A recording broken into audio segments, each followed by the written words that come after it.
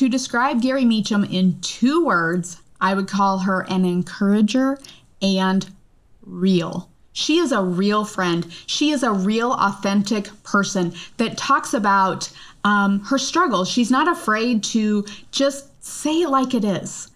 And you know what she also does is she wildly cheers on others. She's such an encourager in the way that she just lives her life in general. You know, one of the things that I've learned is that there is an abundance. There's no scarcity in life. And the one thing that I love about her is that she lives life abundantly.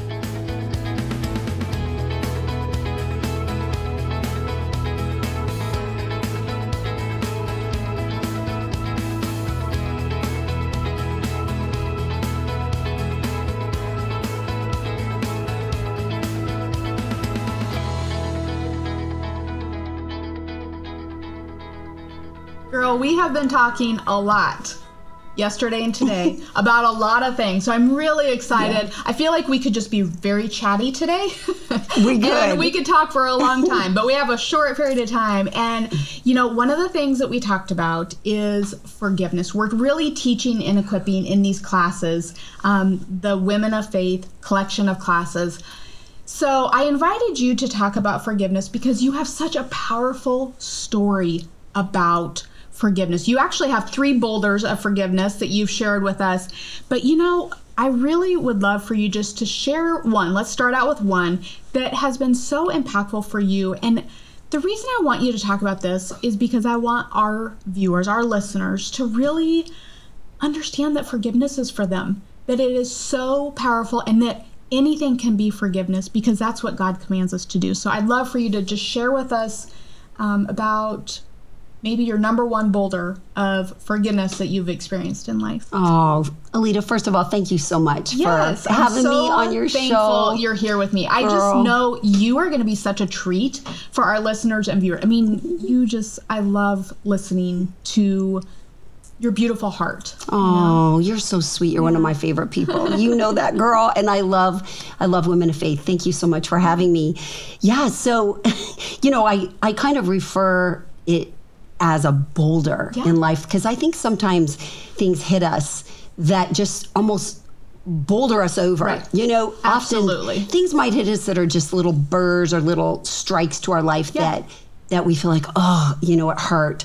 But there's some things in life that almost just roll right yeah. over you. And yeah. so what uh, a visual. Yeah, you know, like a boulder just sits on you. And so probably my number one, and you know, we talk a lot about forgiveness together and a lot of the work we do together has been with my husband, Bobby. And you know, I'm crazy about my husband. As so as you great. mentioned, he's amazing. You know him. He's really um, one of the best, well, the best man that I know. Um, but we went through some horrible pain in our marriage. We've been married a long time now, but right around the 10 year mark, right around that. And really, it was when his baseball career was starting to wane. He wasn't the star, he wasn't, you know, the first round draft pick that he had been. And it was starting to wane. And he sadly reverted to some of the behaviors of high school. Yeah. Here we had been married for 10 years, we had three small children. He was literally the chapel leader for every team we'd ever been yeah. on. It wasn't as though he was just a lost, crazy man. He was a good man. Yeah. But what happened is he started to turn to women to feel better about yeah. himself. And so, over the course of a couple of years, unbeknownst to me, there was a lot of infidelity. Yeah. And at a certain time that was so driven by God, I was able to really kind of uncover some of what had happened. And to Bobby's credit, at the right time, he was completely transparent about it and honest about it. And it was years worth of stuff. Yeah. I mean, it took me to a very, very dark place, Alita. I'm not going to lie. Right. You know, in my life, this was the one thing I begged God, even as a young woman, please, God, don't let me marry a cheater. Don't let me marry a cheater. And when you marry into pro ball, you know, you always hear all these things about pro athletes and the fact that women just kind of throw themselves. at these players, it's true. Yeah. It's probably worse than you think, you know? And so when we started down this dark, dark path, uh, I, I wasn't sure that we could make it. I wasn't sure that it was going to work. And I was so despondent. At one point, they thought I had a brain tumor. My health went down.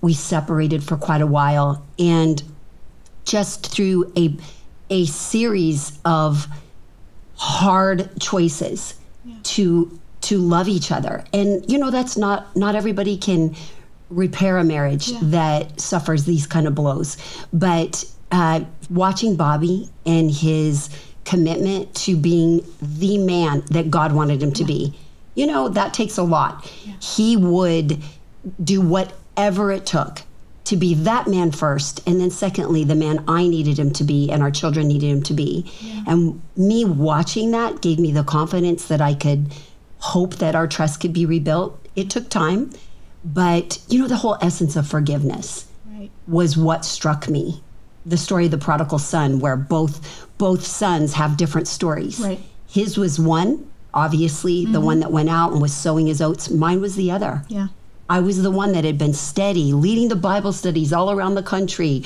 you know, trying to bring people to faith in God. And I was mad at God for a little bit. I have to be honest. Yeah. Like, Lord, I've done nothing but serve you. I begged you to not let this be a part of my life. It was part of my mother's life, it was a part of um, my grandparents' life. I begged God not to let it be a part of mine. But what has happened from that has been brilliant. Bobby's heroic to me to see the the just the commitment to getting it right. And now we have a, a, ministry really to people struggling with infidelity, people wanting to repair their marriage from that. So, you know, God can turn, as we know, any pain into wow. purpose. Forgiveness reflects the character of Christ. It can be difficult to forgive the same as He does. If that's where you find yourself right now, our comprehensive collection of classes and resources cover more than 100 topics like these. All of our classes are based on biblical truth, giving you hope beyond what the world has to offer. Sign up to watch the Women of Faith collection of classes at Liftable TV and start moving toward the freedom you crave. We envision a world transformed by women living victoriously with Him. We prepare our kids to be able to speak up what they, for what they believe in. God wants to provide for us all the wisdom and the knowledge that we need. He wants you to have a group of friends. He wants you to feel like you belong. He wants you to be in community because we're made for relationship. Watch over 80 diverse Christian programs, including the Women of Faith show and classes on Liftable.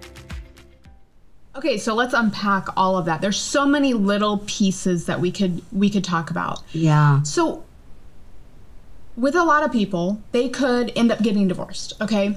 They could choose to not reconcile. They yeah. could choose to become bitter and angry. Tell me about yeah. like how practically speaking, how did you actually forgive him and you know, you told me one time, you said that Bobby was one of the most inspiring people to you, or the most inspiring people to you. And I'm like, wow, that's that's amazing for you to be able to say that right alongside the the yeah. question before is, you know, who did you have to forgive the most? Yeah.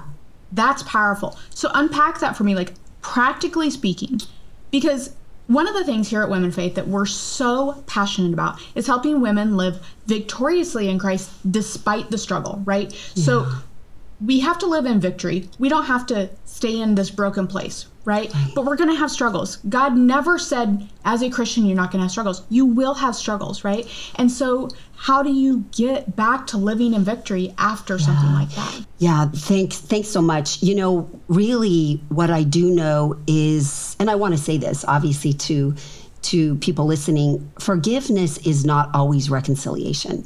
You know, I know that yeah. for everybody, it, it's not the happy, beautiful rainbow ending.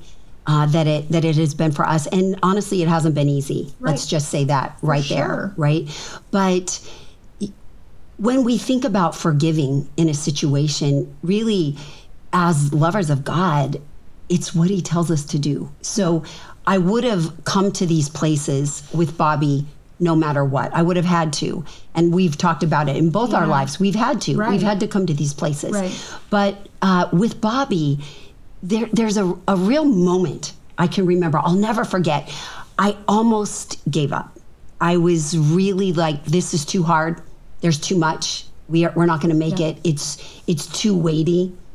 And I remember I got in a in our car and I drove out away. I was going to get a hotel room for the night. He was home with the kids. They were all asleep in bed. And I was just going to get a hotel room. I was just so mad and I was at my wits end. Yeah.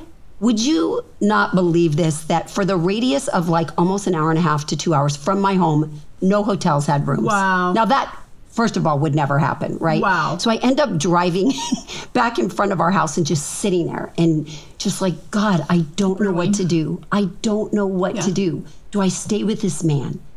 Do I trust this man that has literally broken my heart? What do I do? And this image came in my mind of New York City streets. You know how they have the the carriages that are pulled by horses, Yeah. those horse-drawn carriages. This image came to me of a horse-drawn carriage and I once asked one of the owners of one of those, "Why do your horses have these blinders Yeah. on?" You know, why why are they there? And he said the horses have the blinders so they won't get spooked. So they're not looking too much to the sides. These blinders keep their eyesight only towards what's ahead. Yeah. And I felt like God said to me, You in this moment need to trust me. You're not trusting Bobby Meacham. You're trusting me. I'm telling you, he will be the man that you pray and hope that he can be. wow. But in this moment, that. you're going to have to put blinders on because he's not there yet. Yeah. You're getting there. You know, he, he's not there yet, but don't get spooked. Don't look to the right or left. Just look one step ahead. And so for me, that was that was really the initiating stage Yeah. to knowing that that I could go through these um, these steps of, of forgiveness and for for us reconciliation. Yeah. Okay, so talk to me about what does victory in your marriage look like right now because I want to know what um, daily life looks like. I mean, even in your it, while I introduced you, like you guys are excited to see each other, come home to each other, even though you're apart so often. What does that look like for you now? Yeah, well, you know, we've we've raised kids. Our kids are are grown now, and Bobby's still a major league coach. He's a coach for the Phillies uh, this season, and so our lifestyle is still the same. I travel constantly with my work, both here and, and in Uganda. So the way that I I think it works so well for us now is that we completely respect each other. There's such a high level of respect, and and we're inspired by each other. I think you mentioned that he is calm. He is just calm. You know, girls, sometimes I say I got to take his pulse. Is he alive? You are not calm. I'm like I'm like high energy, as you can probably see. I'm all about action. I love God action. I love God drama, not people drama. Right. I love that, you know. And so he brings me here, Yeah. and I. I bring him up, Yeah, you know, so and good. so it's kind of a nice balance. Plus, I think you learn after you've lived with each other long enough to quit changing each other. Yeah. You know, you try to change each other Well, you try to. It doesn't try. work. it doesn't work. So I can either really just keep pressing to try to change him, or I can realize we're allies. Yeah. We're allies in this together. Well, and what I love is I know that you have gone speaking together about restoring marriages and infidelity and being able to team up and say, hey, look, we have a Christ centered marriage. And I always think about a Christ centered marriage there.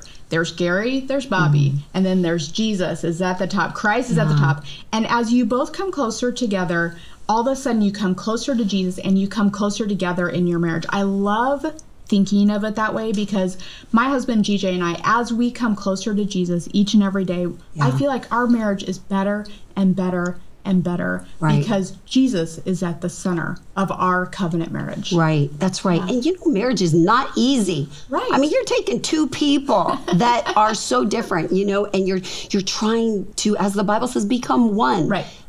That has some struggle to it. Uh, you know, we don't want to ever present as women Right. that we've got this perfect scenario. Yeah. It takes intentional choices to love well every day. Yeah. Every day. Well, and the other thing that you said, just as you kind of share this initial story of forgiveness, there's so many other aspects of things that you've had to deal with. And, you know, there can be depression, there can be stress, there can be so many other struggles that happen. And that's one of the things here at Women Faith. We have 100 resources on all these different Yeah. things, all these different struggles that people can go through. And we have help. We have what to do under biblical truths with all of our keys for living.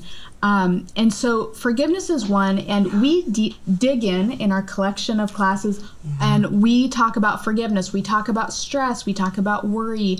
Um, so having the viewers go and listen to that and really getting that victory, like dig in, find some answers, be um, ha- overcome that struggle, find true forgiveness like you have. You know, I think it's so easy to listen to your story and be like, oh well, that's great for Gari and Bobby. They Right. restored their marriage, and we want that for our listeners as well. Right. That's why I love working with you, Alita. We've gotten to do a lot of things together, and these intentional classes that we offer people really give the strategy. I mean, right now we're just in conversation. Yes. But that's why I love your work and the work of Women of Faith, which I'm so committed to because it gives the strategy. Mm-hmm. So good.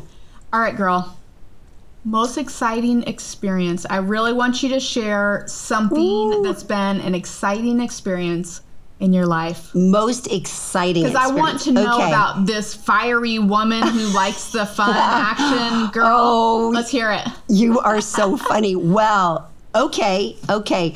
You know, um, I'm kind of, I'm kind of daring, which is Me too. is funny. Yes, Yeah. that's probably why we like each other so much. but um, I, of course, you know, run a place in Uganda, and Uganda is the source of the Nile, believe it or not. And so, my first time there, I was offered the chance to go river rafting on the Nile River. Okay, so I've river rafted the Colorado River Okay, I, said, before. I feel nervous already just hearing that. oh my gosh. Well, my, you know, instead of a bachelorette party, I had my friends, we river rafted the Colorado River. Okay. For my pre-marriage, like fun time, right? So I get this thing. So I'm, I'm, I'm getting ready to, to go on this rafting expedition, you know, with Yeah. some people that I didn't know all that well and a few people that were on our, our team uh, that we had come from America with. And I'm telling you, Alita, I thought I was going to die.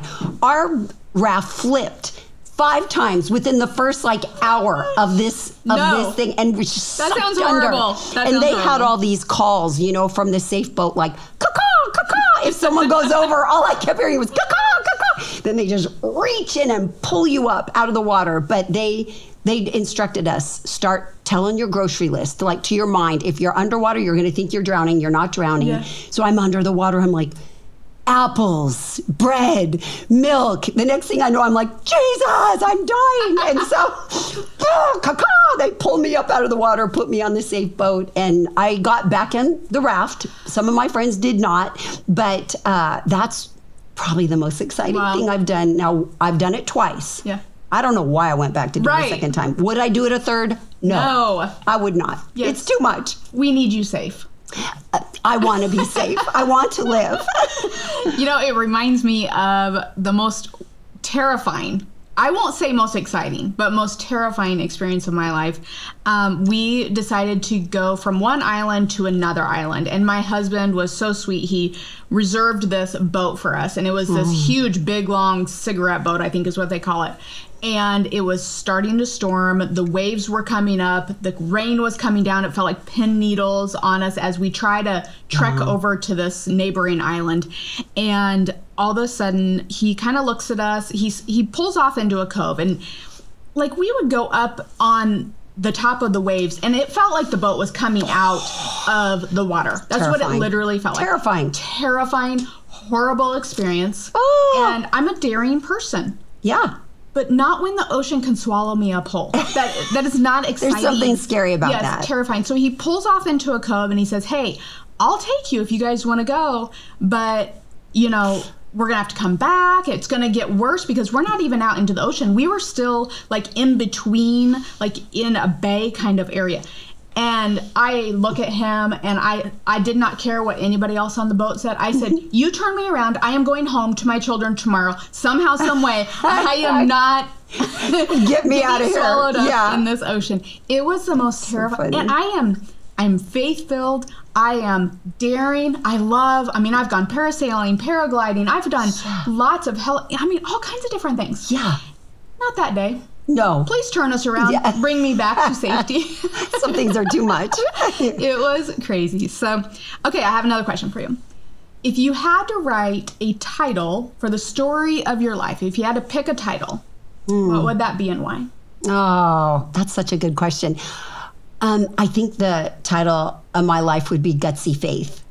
You know, I came up with that Gutsy phrase years Faith. ago. I just liked that because when I was little, people used to go, You got guts. Remember, did you Yeah. ever say that? Like, oh, that took guts, or you Uh-huh. got guts. Well, we all have guts, but you know, it means you're Yeah. you're You're gutsy, you're yeah. daring, you're like brave, you're courageous, and obviously we know biblically that's a plus Yeah. to have gutsy faith, to have courageous faith is a plus. So, so much of what God has asked me to do in my life has been gutsy. I love You that. know, so much of our work in Uganda or even just here, you know, Yeah. in terms of, For sure. you know, try to get the books published, try new things. You don't know how to, to, to do something, try it, learn how. And I just so encourage, you know, anybody listening to us now to live gutsy faith. Yeah. You know, I, I think that's that's such a fun way to live. Yeah. It's not always a safe way to live, but why would we want to be safe? You haven't really lived all that safe. I mean, come on, let's no. how many times have you moved in your life? Oh, wow. well, we've moved 47 times in the first 10 years of our marriage. Girl. Yeah. And we've been married That is not safe. well over 30 years So now. you have to have some gutsy faith to do the things that you've done in your I mean, wow, we're just kind of barely unpacking your life at the little tiny bit. But lis- listen to all those things we just talked about already. That's gutsy faith. And you know what? I love how courageous you are in what you're doing in Uganda.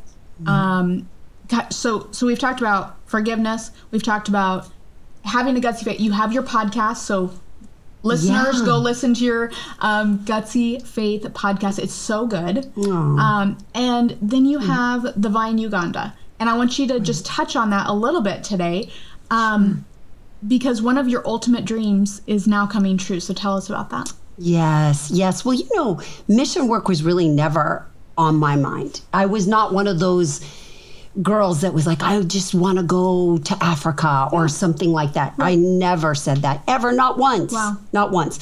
And I went my first time just as a favor, really. To a friend who had a daughter that had started an, an orphanage there. And so I went as a favor thinking one and done. But while I was there, God blossomed something in my heart that I really can't even hardly great. put words to. Um, and so myself and a former co-founder, we we started a place in a very underserved area called Kamuli, Uganda, and I've since reorged, uh, no longer with him, but reorged, um, and still called the Vine Uganda. But we serve women and children in 13 villages, and so we're we're building um, an abandoned baby cottage and then onto schools and vocational centers. We run those programs now, but we're just building our own. So the baby cottage is almost done. It's Wow. about two weeks from being done. Wow. And because of the pandemic, there's so many abandoned kids. Right. It's it's an epidemic there, far worse than the effects of the pandemic. Right. And so in that region, and so we're we're so thankful for God's timing because it it it just worked out this way. tell us where they can find you what what's your site and what's your social media Oh, I'd love to. So, well, the Vine Uganda is just simply thevineuganda.org. Okay. That's one way. Great. And then for me, it's just garimeacham.com. Simple Easy. as can be. GariMeacham.com. Then, of course, I'm just I'm on Instagram and I'm on Facebook. Um, we've got our business page there, and we also definitely want our audience to be following you because what you share is so good thank you for doing Oh, that Thank you so much. The Vine Uganda has an Instagram as well. Any of those, we'd love to hear from anyone. One of the things I love to ask the question is what is a truth bomb that you use in your life? Like, if you could say in 30 seconds or less, like this message that's so profound that they can just, the audience can just walk away with a truth bomb in 30 seconds. Like, if they had to remember the one thing Gari Meacham had to say, what would that be? Wow. Woo. That's a lot of pressure. pressure. I'm not, wow. Well, let's see. You know, I'm just thinking about how we've talked a, a bit about forgiveness. You know, that's such a powerful topic. I think uh, someone told me once, or I heard this, I'm not exactly sure where, but that when you refuse to forgive, it's like setting yourself on fire and Mm. expecting your offender to die of smoke inhalation. Wow. You know, and I just have thought so often about that. To refuse forgiveness Yeah. is so dangerous for us. Yeah. For us. So good. Yeah. And you know, I just want to kind of expand on that topic because so often we think forgiveness is optional. Forgiveness isn't optional. If you want to follow Jesus the way that we desire, you know, if you want to walk in God's will for your life, you are commanded to forgive. You know, I think about um, think about a big meat hook around your neck. So a big meat hook is like this. Think about having that around your neck, and you put a big bag on the front of you. And imagine you start putting stones in this big bag. You put stone after stone, you have a hundred pounds of weight. And these are hmm. offenses that were from other people. And it weighs you down. And think of the things you're not able to do when you have a meat hook around you with a hundred pounds of stone in front of you. Yeah. You can't live the life that God has for you. And so God commands us to forgive people. And that means taking those stones back out of the bag that's holding you down from the things that God has for you, the will of God. And you take one of those stones out and you set it back into God's hands. You take one of the stones out and you set it back into God's hands. And that's one of the things that has been that has made it so much easier for me to forgive people is God commands it and he will take care of it. Let him take care of the offense of the offender. When you take that all back out, all of a sudden you can live into God's will for your life because you don't have the weight around your neck Right. any longer. Oh, that's such a good picture.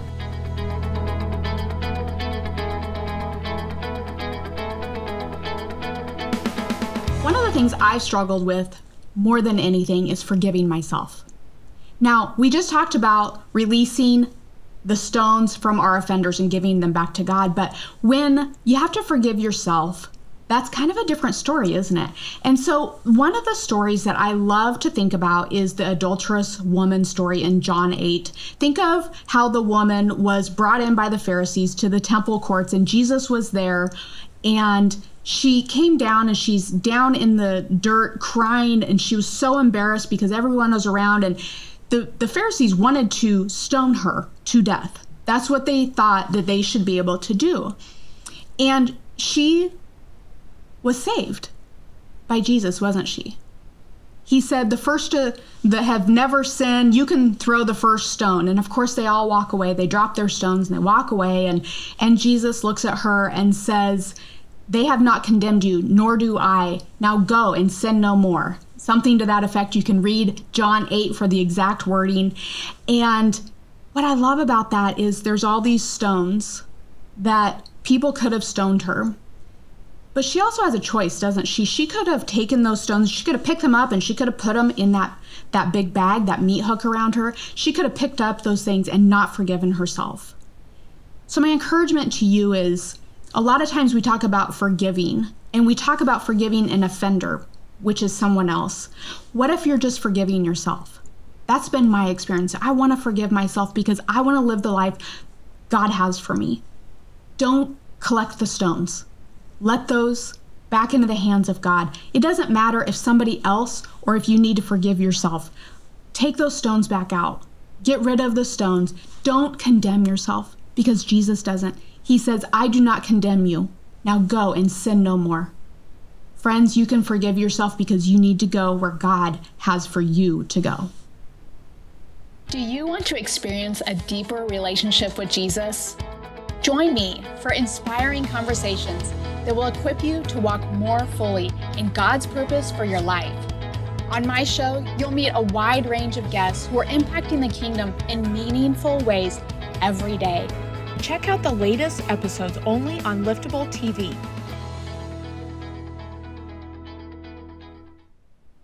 I don't want to miss the opportunity for you to be sitting across from me and for the audience to be listening.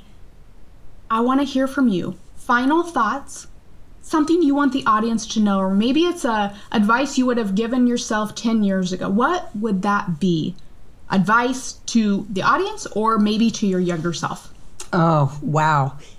Well, you know, we've talked about a lot of really deep things. I was just Right. listening to you talk about the meat hooks and forgiving yourself and all of this. You know, uh, it's not only been the biggest challenge of my life to forgive other people, not just Bobby. There's many things in my life I've had to forgive, but to forgive myself too. But I love that we were talking about gutsy faith, you know, and I think I would just say to our audience, all of us are called to gutsy faith. Sometimes it's the gutsiest thing you'll do to do something like forgive yourself. Right. It's not always going out and doing these big things that are gutsy. Sometimes it's just listening into the small moments and, and leaning into the, the times in our life that we really need to be courageous. We need to go deeper. We need to live braver Yeah. in those moments. That might be a friendship. It might be trusting someone once again. It might be walking away from something. It might be staying at something. And so I think that, you know, to talk to my former self, I've been very hard on myself in my life. I've expected this all the time when God just gives this Right. really and so my posture now and I've, as i've gotten older is just more open-handed. Right. this is who i am. Lord god i thank you so much that you're not leaving me here. You're making me better and better. But if we can be gutsy Right. in the way we live and just live with this abandonment to to you know to fear and to what are people going to think? And if i forgive then then i'm letting them off the hook. Yeah. you know these ways of thinking are just so shallow. I want to go deep Yeah. i want our audience to go deep That's why I love you. I love your gutsy faith. Faith, I love your courage. Thank you for being here Yeah. today. We love you, and we're gonna have you back soon. thank you Thank you for being on.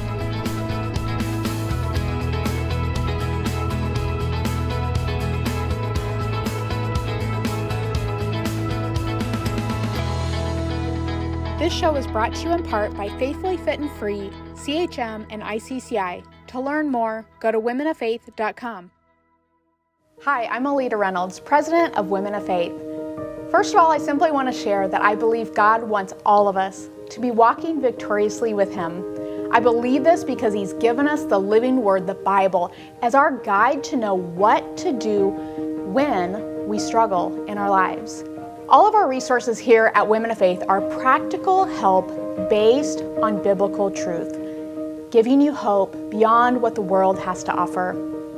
If you or someone you care about is battling one or more of these 100 topics we have available, we have what you need to not only offer hope, but the steps you need to move forward and for breaking free from what holds you captive. I want to give you a quick list of our resources, and you may want to utilize more than one of these to get the transformation you're really looking for in your life. First of all, we have our Women of Faith classes. Do you like to learn by watching videos instead of reading? Then our growing collection of classes are for you. We have a comprehensive video library that coaches and equips you to walk in victory in every area of your life. As a certified life coach with some of my most trusted friends and experts, we share our own personal journeys of our own struggles of the topic at hand and know how we've been able to overcome them, plus, we'll help you find the tools needed for yourself. Then we have our Women of Faith show with Alita Reynolds. This show is for you if you're inspired by hearing other people's stories of overcoming their struggles to live in victory. These inspiring conversations will encourage you to live the life you're created for. You'll hear stories from guests who are impacting the world in big and small ways every day. We also have our Women of Faith Keys for Living books and ebooks. Now, these keys are great for personal study or even small group studies. The Keys for Living books provide steps to solutions so that you'll discover God's wisdom and guidance in a simple format to walk in freedom and live in victory. Now, are you ready to start reading right now? Go ahead and download a Key for Living ebook for a complete and comprehensive guide on your chosen topic. Or would you rather read, highlight, and write in your book? Then order a print book to be delivered right to your home. Another resource available is our downloadable quick study guides. They contain excerpts from our Correlating Keys for Living book to offer an immediate overview and concise answers. If you simply need somewhere to start, then start with our Key to Hope. We want to help you right away with a free gift from us. I'm praying for you to find what you need based on biblical truths. We care about your transformation Whatever you're facing, your life matters, and God wants you to live in victory. Today is a great day to begin.